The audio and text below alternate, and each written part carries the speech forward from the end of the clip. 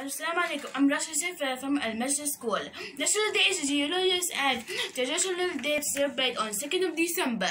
Uh, it's every important day to people in the UAE. In this day, the seven imams were united into one country. The late Sheikh Zayed bin Sultan enforced to unite all seven countries to become one country. This union expressed the strength, love, and happiness for all the Emirates. And now I feel proud every day because I'm from Emirates people, and we we, we thank Allah for this heroic anniversary that passes uh, through us every year, and we live in peace, development, and prosperity.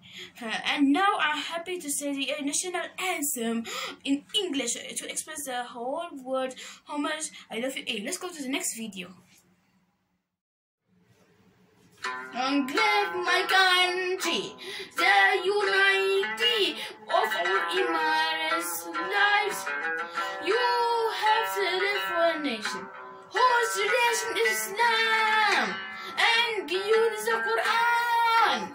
I made you stronger in God's name, oh homeland. My country, my country, my country, my country. Allah has protected you from the evils of that time. We have sworn to build the end world.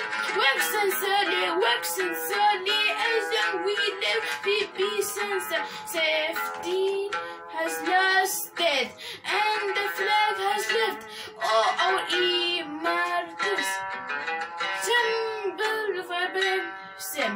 We also pray for you and give all that for you. We sacrifice for you with our souls, oh homeland.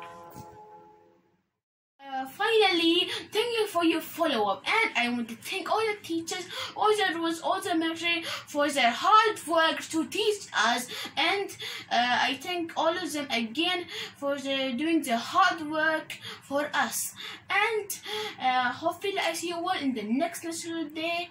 Bye. I'm Rasha Saif, 7-1 I'm from Al School. Bye.